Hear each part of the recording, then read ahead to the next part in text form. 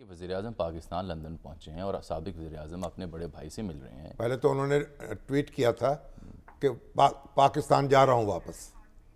फिर उसके डिलीट करना पड़ा। और वो आके वो उनका लंदन में तो अकबर इलाहाबादी ने कहा था ना वो शेख जो जाए ना उम्र करने के लिए तो हम खुदा की वो देखें घर खुदा का हम खुदा की शान देखेंगे। तो वो कह रहे हैं आप तो आ जाएँ हाँ खुदा की शान देखें खुदा का घर देखें और हम खुदा की शान देखने के लिए लंदन जा रहे हैं। चलिए वो अजहर साहब जैसे ही आते हैं तो वहाँ से ताज़ा खबर लेते हैं क्योंकि मुलाकात वहाँ वनफील्ड अपार्टमेंट्स में शुरू हो चुकी है ये अहम जिस पर तमाम नज़रें हैं कि वहाँ क्या फैसला होता है। अलबत्त आज शाम कुशी साहब से सर मुलाकात हुई है तो आज तो कोई फैसला होने वाला नहीं कहाँ? हाँ फैसले तो हो चुके होंगे बस अब अच्छा ये आप खबर दे रहे हैं या हाँ। तजिया मेरा ख्याल तो फैसले हो चुके हैं। ये खबर है आपकी? हाँ। फैसला हो चुका है? फैसला हो चुका है। फैसला किसी नए नाम का हुआ है या तोसी का हुआ है फिर? ये जो वक्त आएगा तो मालूम हो जाए ये ये भी अब हल्की सी इशारों में आ, क्या हम कोई नया दौर देखेंगे? अभी, या यही तो दौर बात चल? रही है कि भाई हसनी सैयद हैं हाफज कुरान हैं एक साहब जो हैं हम्म। और इकतीस पुश्त जो है रसूल से मिलती है शायद। माशा नस्बत तो जारी बात होती है ना नस्बत वाली हाँ जी ऐसी बात ही है।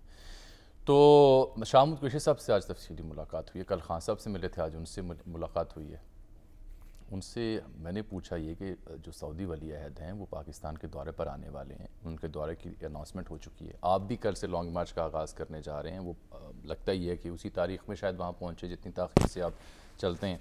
तो उन्होंने एक बात बड़ी वाजे की है, जो कि हम दोपहर से ख़बर नशर भी कर रहे हैं।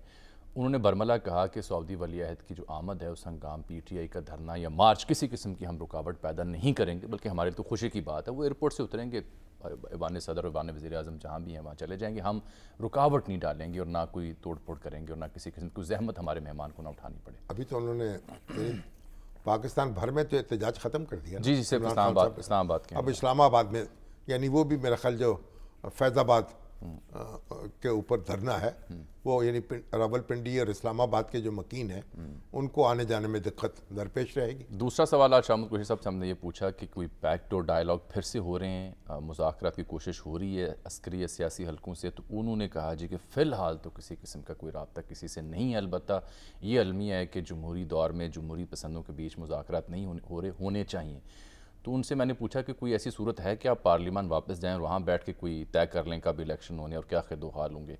तो वो कहते हैं बिल्कुल हम तैयार हैं। पी पीटीआई पार्लियामान उसी सूरत वापस जा सकती है। अगर कोई हमें टेंटेटिव डेट लाइन दे दी जाए अगले इंतखब की और उस पर फिर बात करने के लिए हम पार्लियामान दोबारा रुजू कर सकते वाईपोर वालों का एक पोल, हाँ।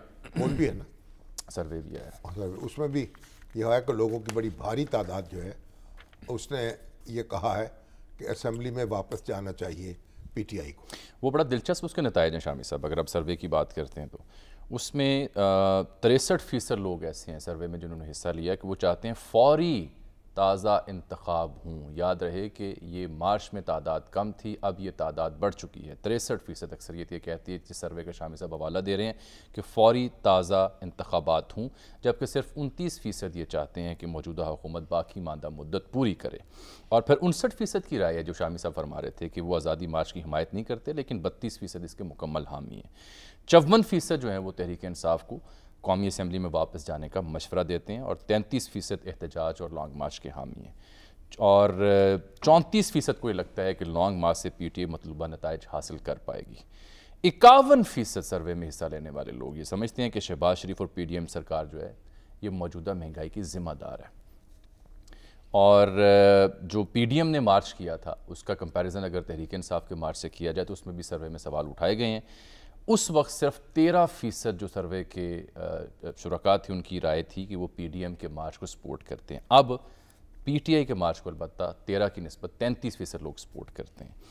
चौंसठ फ़ीसद ने तब पी डी एम को कहा था कि वो असम्बली में जाकर जदोजहद करे और अब चौवन फ़ीसद पी टी आई को लॉन्ग मार्च की बजाय असम्बली में जाने की तजवीज़ करते हैं। जल्द इंतखब की मांग जो है, ये बड़ा दिलचस्प फैक्टर है कि जल्द इंतखब की मांग चवालीस फ़ीसद हुआ करती थी, अब ये बढ़कर तिरसठ फ़ीसद हो चुकी